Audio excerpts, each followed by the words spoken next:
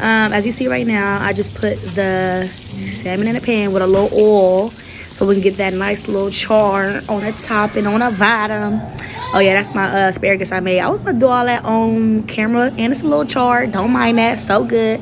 Right here I made some red mashed potatoes. Ooh, here go my butter, cream cheese, lemon sauce. Oh, you gotta put a little parsley, you know, to make it look good and make it look all fancy. But as y'all see, I finished my stuff. I finished my plate. And I'm about to show y'all how to just put the cream sauce on there. Because y'all be just throwing it on there. You got to just finesse it on there. Finesse it on there. Make it look good. Make it look okay. Okay, girl. Hurry up. Hurry up. Good God. And, um... Ooh, don't play with it, don't play with it, don't play with it. Come on, baby, don't play with it. Ooh, that looks so good, y'all. And it tastes even better. The cream sauce, I want to show y'all how I make that cream lemon sauce. Bye-bye.